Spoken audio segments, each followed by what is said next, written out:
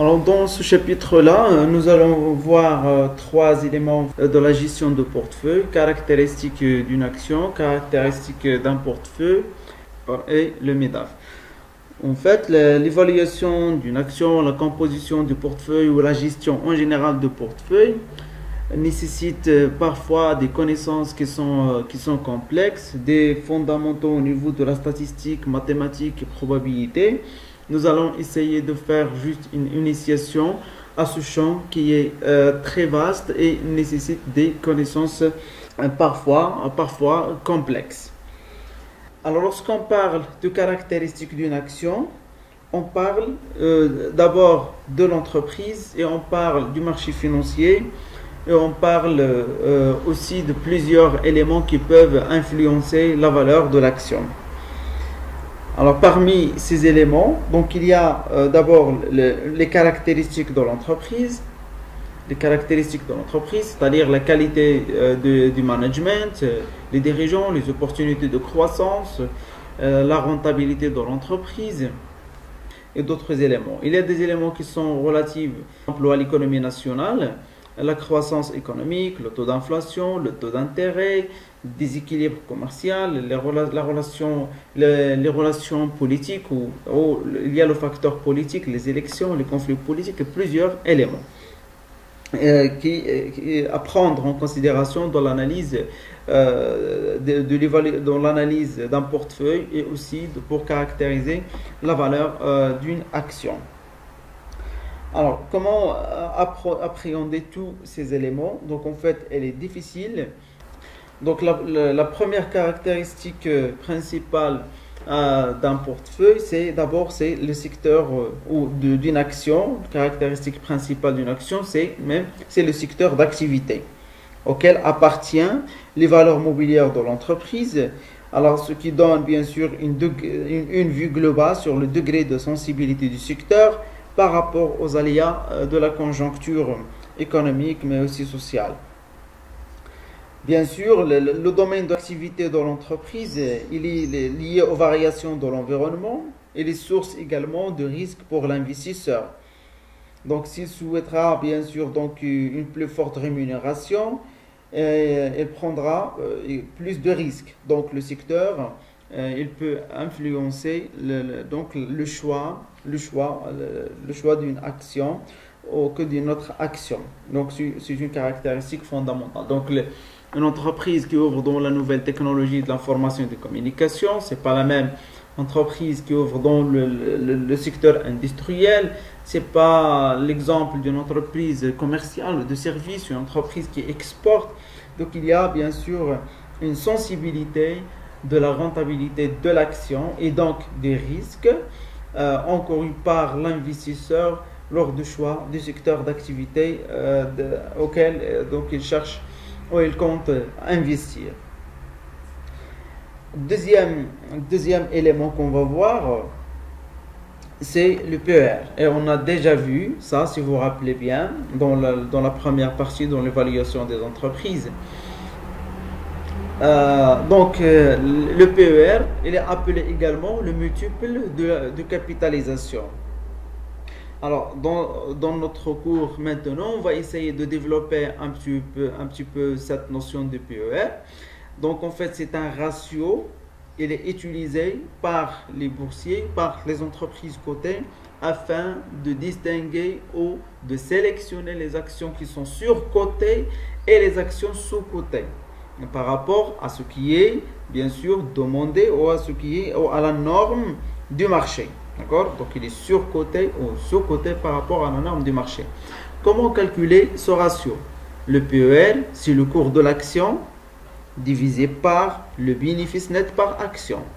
C'est le cours de l'action divisé par le bénéfice net par action.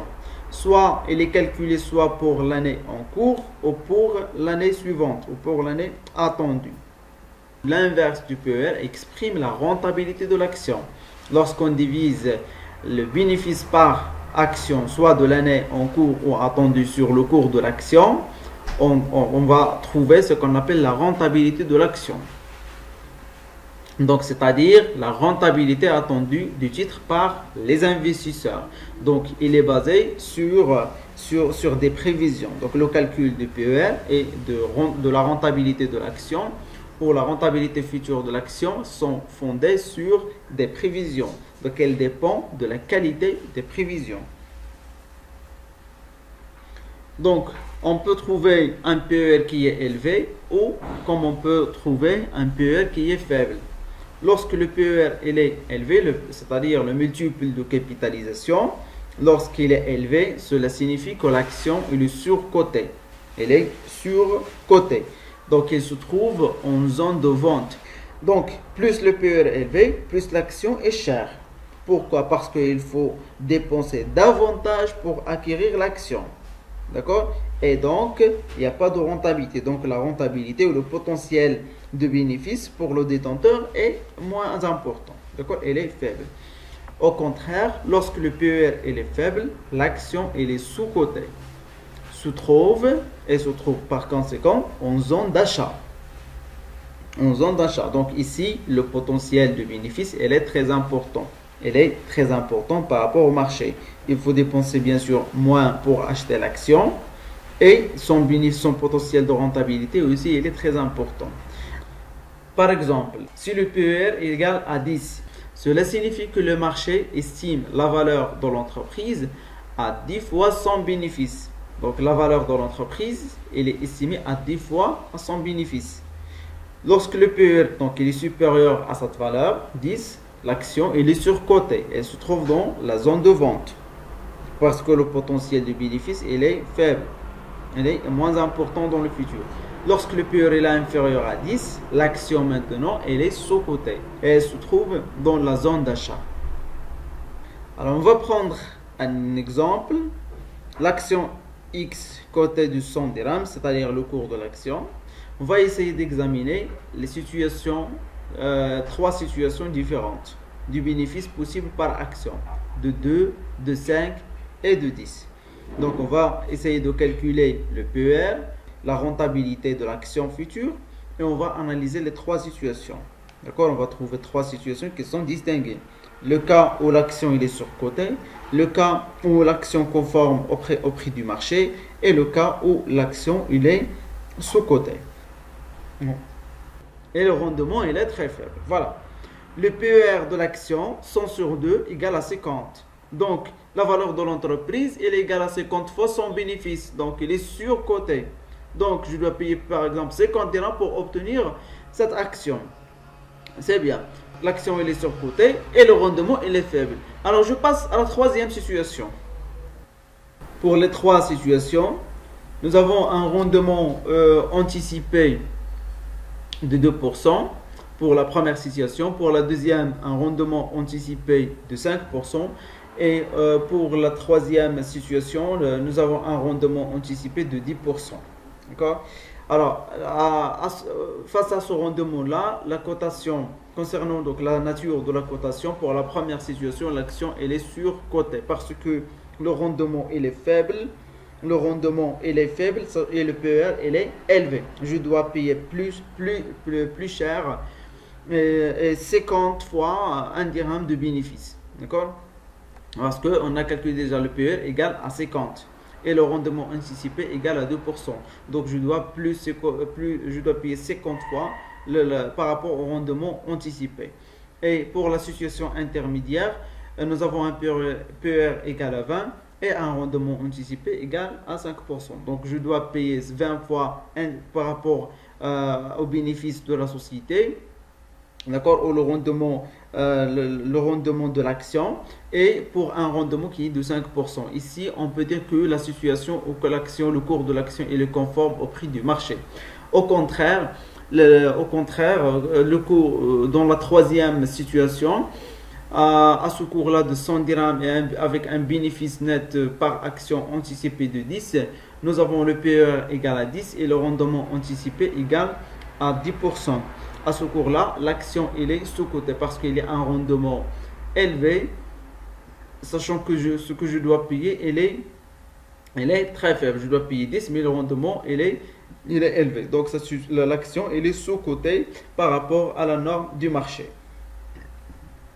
Pour la première situation, à ce cours-là, le rendement est faible, donc le détenteur de l'action est prêt à vendre. Parce que on a dit que le rendement il est faible. Le cours de l'action va donc baisser pour atteindre le niveau accepté par le marché. Au niveau de la troisième situation, à ce cours, le rendement est fort, de 10%. Donc les opérateurs sont prêts à acheter cette action surtout ce, qu'ils doivent payer, ils doivent payer un coût qui est faible, d'accord?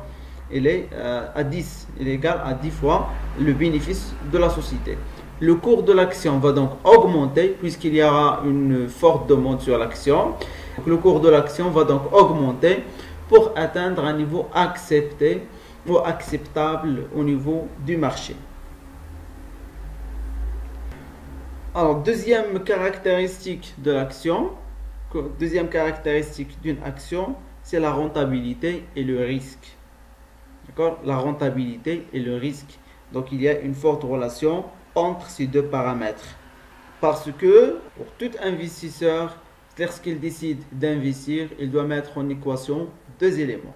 La rentabilité, est-ce que l'actif dont euh, je souhaite investir, est-ce qu'il est rentable ou pas rentable et quel est le, le degré de risque d'atteindre ces rentabilités? Et ici, on doit distinguer entre trois types de rentabilité. Il y a la rentabilité passée, la rentabilité future, mais aussi la rentabilité exigée par l'investisseur. La rentabilité passée, c'est une rentabilité calculée à partir du résultat net et du dividende. Donc le résultat généré par l'investissement, euh, par, par cet investissement, par l'actif, le, résultat généré par l'actif et la rémunération de l'investisseur. La rentabilité future, elle est calculée à partir des résultats attendus par l'actionnaire, c'est-à-dire un résultat net attendu par l'actionnaire et le dividende attendu par l'actionnaire et qui sont probables. D'accord? Qui sont probables et sont associés. C'est là on doit intégrer ce qu'on appelle le risque, le risque d'atteindre ces résultats et d'avoir le paiement euh, attendu ou prévu par l'entreprise. Et aussi, il y a la rentabilité qui est exigée. Donc, face à chaque, à chaque niveau de risque, l'investisseur exige une rémunération. Exige une rémunération, c'est-à-dire une rentabilité, c'est-à-dire un taux de rentabilité exigé par l'investisseur et qui inclut une prime, ce qu'on appelle la prime de risque. La prime de risque. C'est ce qu'on va voir en détail dans la partie du MEDAF. D'accord? L'évaluation des actifs à l'équilibre par le MEDAF ou le modèle de Marquis. Et également, on va voir la deuxième caractéristique, donc c'est le risque. Comment calculer euh, le risque, comment l'évaluer, comment évaluer le, risque suite à l'investissement. Que voilà les, les, principales caractéristiques d'une action. Alors maintenant, on va voir comment calculer chaque élément. Pour la rentabilité passée, donc c'est une rentabilité qui est constatée. C'est une rentabilité qui est constatée. Existe dans les états de synthèse de l'entreprise. Donc euh, déjà réalisé par l'entreprise après avoir vécu un ensemble de contraintes économiques ou financières ou macroéconomiques aussi. Alors supposons, euh, supposons qu'on a une action X dont le cours est C0 à la date 0 et C1 à la date à la date 1. D'accord? À la, date 1, c'est-à-dire par exemple, au début de l'année et à la fin d'une année. D, donc ce D, c'est le dividende éventuellement versé au cours de la période 0-1, d'accord? Entre, ces deux, dates. La rentabilité de l'action X, ce qu'on appelle la rentabilité euh, passée, de l'action X sur la période 0,1 parce que par exemple nous sommes à la fin d'année, nous sommes en 1 et donné par cette rentabilité est donnée par la relation suivante, c'est la variation du cours de l'action, c'est C1 moins C0 divisé par C0 plus le dividende plus le, dividende, c'est D plus c'est D la valeur du dividende divisé par en fait C0. Donc c'est comme ça qu'on calcule la rentabilité passée de l'action. Alors, on peut, c'est-à-dire, c'est le rapport entre la variation du titre augmenté du dividende, c'est le rapport entre la variation du titre augmenté du dividende par action versé par l'entreprise sur le cours de l'action à la date d'achat du titre. Donc c'est zéro, c'est le cours de l'action à la date d'achat du titre qui est la date 0. On va voir maintenant la rentabilité future. Donc c'est le résultat c'est le résultat qui est attendu du titre, attendu par l'investisseur, le cours de l'action future et le dividende probable versé par l'entreprise, qui est le résultat. Ce, résultat attendu est composé de deux éléments. C'est le, cours de l'action future, c'est-à-dire C1, donc C1 plus D, donc à la date future. Par exemple, à 1, euh, 1, on prend toujours les dates 0 et 1. La date 0 et la date 1. À la date de l'acquisition ou de l'achat du titre et la, date à la fin de l'année, combien j'aurai euh, comme résultat. Donc ces deux paramètres sont fonction de deux éléments. D'accord? La rentabilité future, elle est affectée par deux éléments. La réaction de l'action la, face aux alliés du marché, comment l'action réagit face aux alliés du marché, et le comportement de l'entreprise par rapport à son environnement.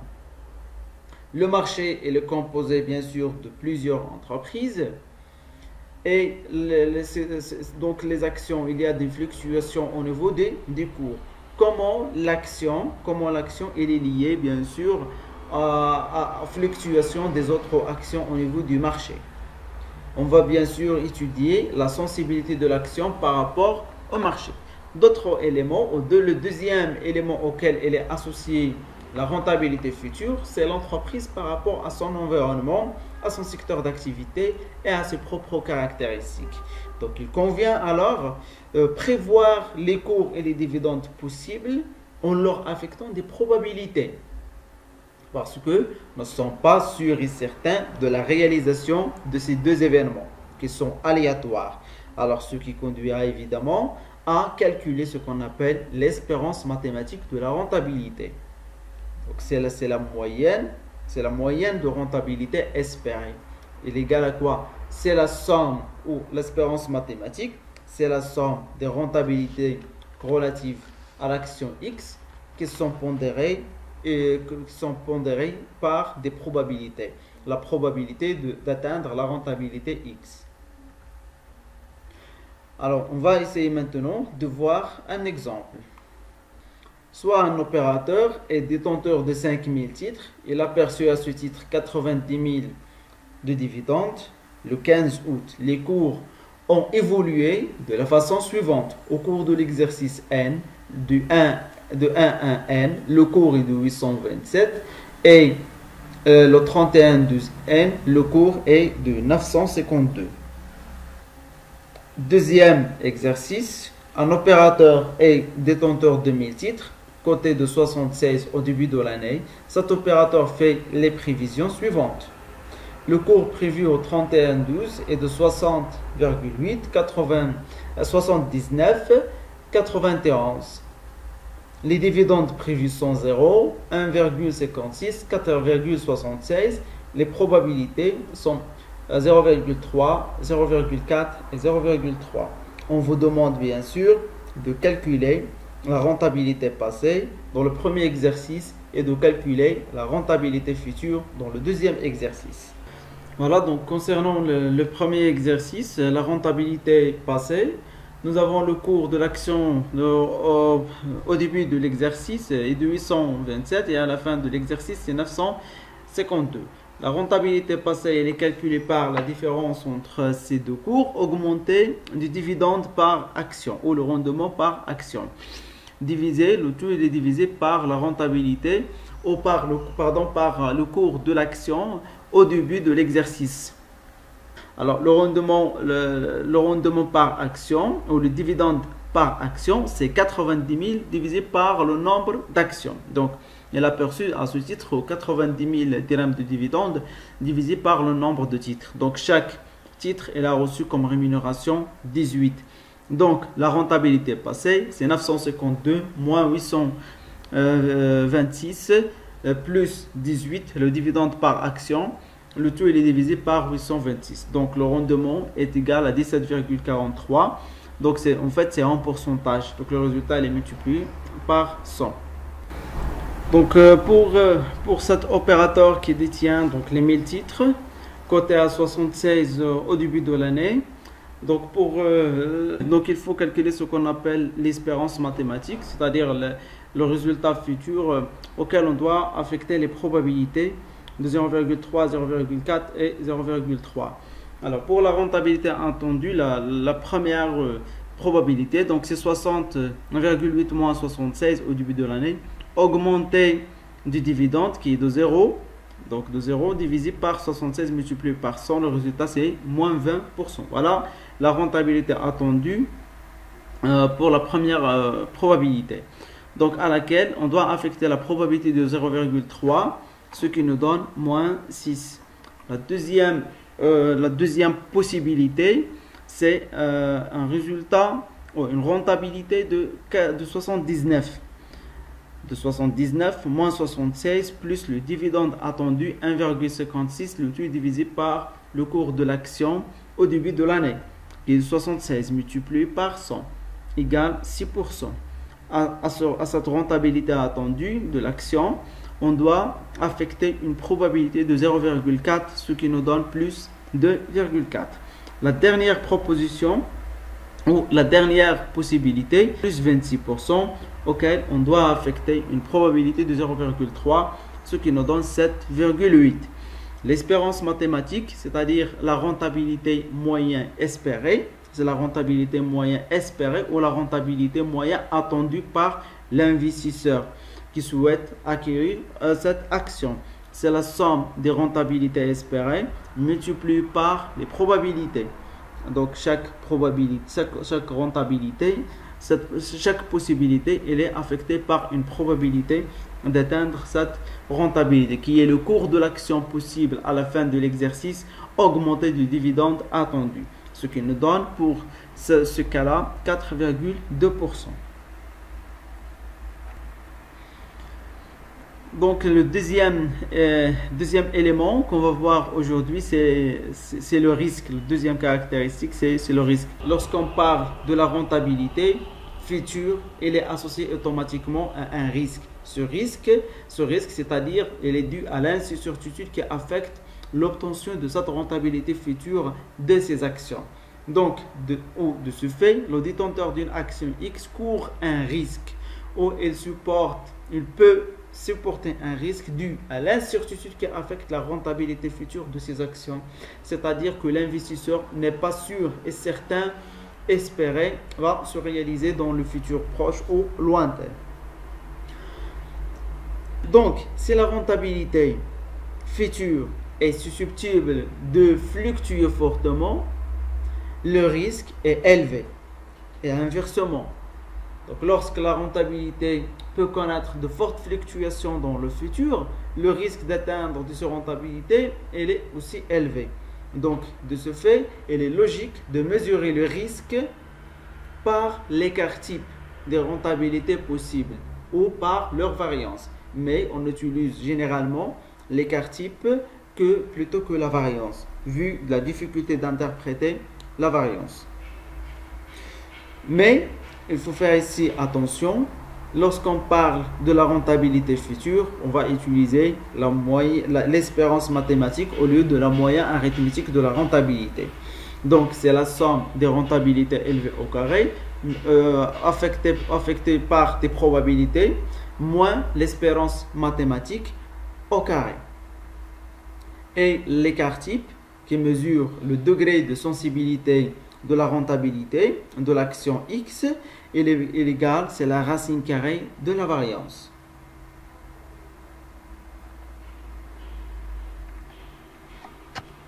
Alors supposons qu'on a euh, une action X. Supposons qu'on a une action X les, cours prévus au 31-12 ou à la fin d'une année, c'est 60,8, 79 et 91. Les dividendes prévus sont 0, 1,56, 4,76 et les probabilités successives sont 0,3, 0,4 et 0,3. En fait, c'est l'exercice qu'on a vu précédemment. On va essayer maintenant de vous demander de calculer, de calculer, de calculer le risque associé à cette action. On a déjà calculé l'espérance mathématique, c'est-à-dire la rentabilité moyenne espérée de l'action, c'est 4,2.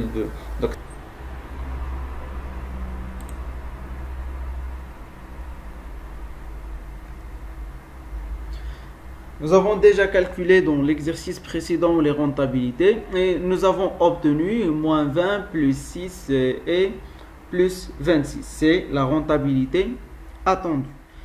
Chaque rentabilité, elle est affectée par une probabilité. La première par 0,3, la deuxième par 0,4 et la dernière 0,3.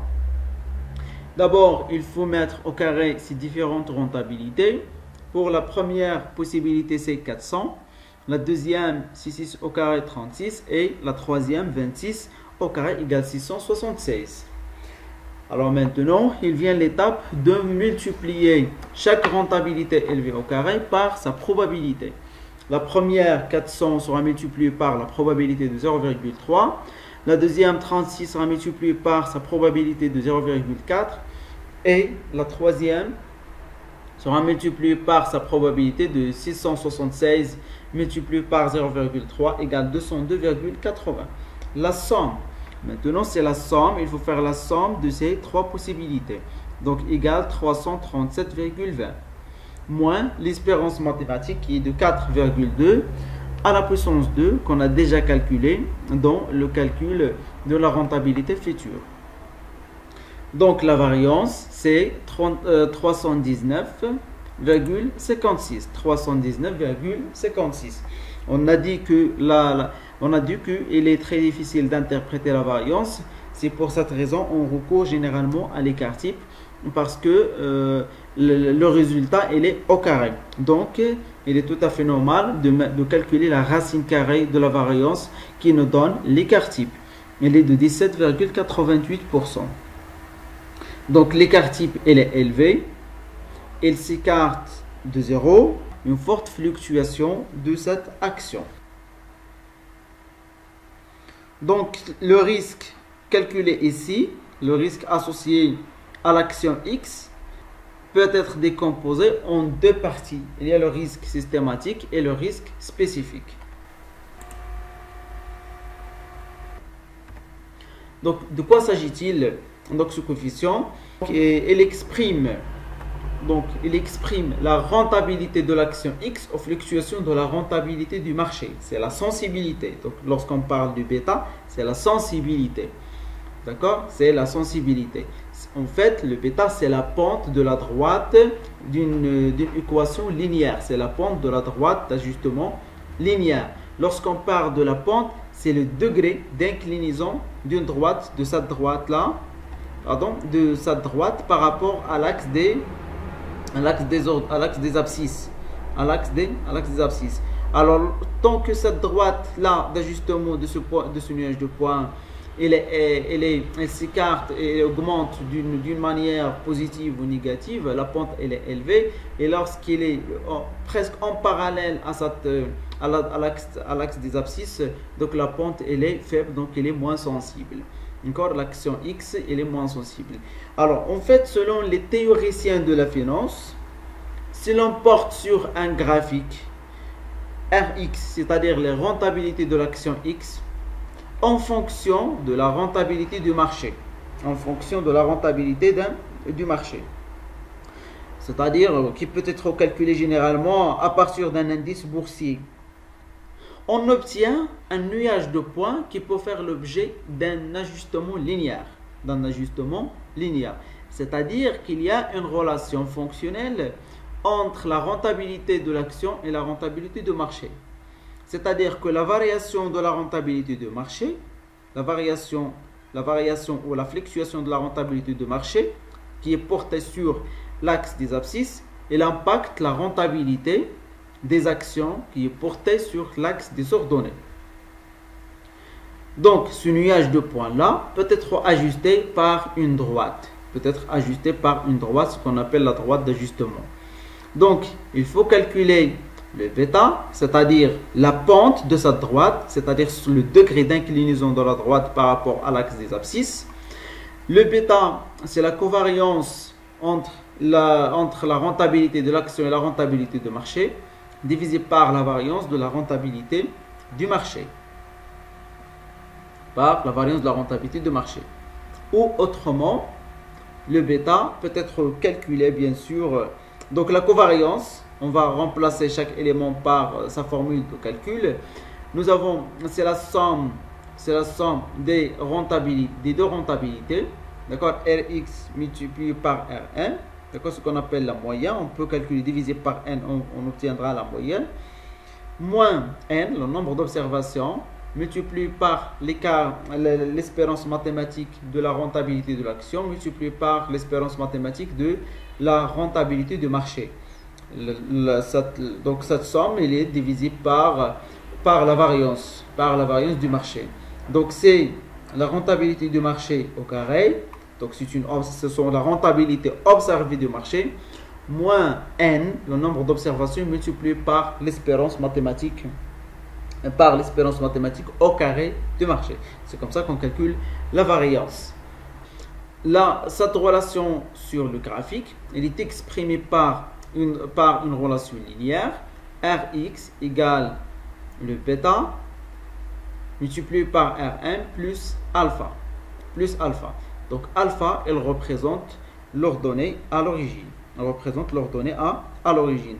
C'est-à-dire lorsque le rendement, euh, du marché est faible, lorsque le rendement est faible, la rentabilité de l'action égale au minimum alpha. La rentabilité de l'action égale au minimum au moins égale à alpha.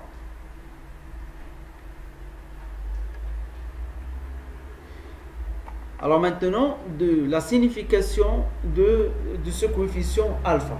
Il y a trois, trois niveaux à distinguer ou trois, trois significations à distinguer. D'abord, le bêta égale à 1. Donc il est par définition dans un marché égal à 1. Cela signifie quoi? Que le cours de l'action varie comme l'ensemble des actions existantes marché, sur le marché. Lorsque le bêta est supérieur à 1, le cours de l'action varie plus fortement que le marché boursier. Il est plus risqué que le reste du marché. Donc, parce que il est sensible. Donc là, il y a euh, un degré de sensibilité plus fort par rapport aux variations euh, du marché lorsque le bêta est inférieur à 1. Ici, le cours de l'action varie avec une amplitude moins grande que le reste du marché. Le cours de l'action varie avec une amplitude moins grande que le reste du marché. Donc on dit que le titre est moins risqué ou le titre est moins volatile, est moins. Par contre, dans le premier cas, le cours de l'action varie plus fortement que le reste du marché et est plus risqué que le reste du marché. On dit qu'il y a une forte volatilité au niveau de rentabilité euh, euh, du, titre. Ce bêta-là peut être également calculé à partir de ce qu'on appelle le coefficient de corrélation. Le coefficient de corrélation entre la rentabilité du marché et la rentabilité de l'action. Donc, le coefficient de corrélation il est calculé par la covariance entre les deux rentabilités, la rentabilité de, l'action et la rentabilité du marché, divisé par le produit euh, des deux écarts types des deux, des deux paramètres, c'est-à-dire la rentabilité du marché et la rentabilité de l'action. L'écart type de, l'action multiplié par l'écart type de, de marché, de la rentabilité du marché. On a dit que le risque total calculé, c'est l'écart type de l'action c'est l'écart type associé à la rentabilité de l'action, peut-être ainsi décomposé en deux types de risques. Il y a un risque lié au marché et un risque spécifique, c'est-à-dire indépendant du marché. Ce risque global, donc, décomposé en deux, en deux types de risques. Il y a le risque et le risque spécifique, c'est un risque qui est associé à l'entreprise. Elle est indépendante du marché. Ainsi, il faut préciser que ces deux risques sont totalement indépendants. Donc l'équation qui permet de retrouver la rentabilité, de retrouver la rentabilité de l'action à partir de la rentabilité du marché est la suivante. Rx égale bêta de Rm plus alpha plus epsilon. Plus epsilon. Alors, je vais revenir vers la droite qu'on a expliqué précédemment pour expliquer d'où viennent ces paramètres. Nous avons vu que si on porte sur un même graphique la rentabilité de l'action en fonction de la rentabilité du marché, on peut obtenir euh, un nuage de points qui peut faire l'objet d'un ajustement linéaire par la méthode des moindres carrés. Nous avons sur ce, graphique-là Rx, c'est la variable pardon, à expliquer. Rx égale, égale à quoi? L'ordonnée à l'origine alpha plus la pente multipliée par la rentabilité du marché, c'est-à-dire le degré d'inclinaison de, la droite d'ajustement par rapport à l'axe des abscisses. Donc la différence entre ce qui est observé, le nuage de points, et la droite d'ajustement, il nous donne ce qu'on appelle l'erreur. Il nous donne ce qu'on appelle l'erreur. C'est ce qu'on appelle, il est noté ici, epsilon. D'accord? Il est noté epsilon. Donc, la droite d'ajustement ou le risque global est associé à, cette, à, le risque global, il est décomposé en un risque du marché et un risque qui est spécifique à l'entreprise. Donc Rx égale alpha, l'ordonnée à l'origine, plus bêta, le degré d'inclinaison de la droite par rapport de la droite d'ajustement par rapport à l'axe des abscisses, multiplié, multiplié par la rentabilité du marché, plus epsilon. D'accord Qui est la différence entre ce qui est observé et ce qui est estimé. Parce que la droite ici, c'est estimé, c'est l'estimation. Du coup, nous avons, euh, nous avons ce qu'on appelle la droite du, euh, du marché. La droite du marché égale la rentabilité de l'action égale bêta de la rentabilité du marché plus alpha plus epsilon. Donc le risque, en fait, étant généralement mesuré par l'écart type plutôt que par la variance.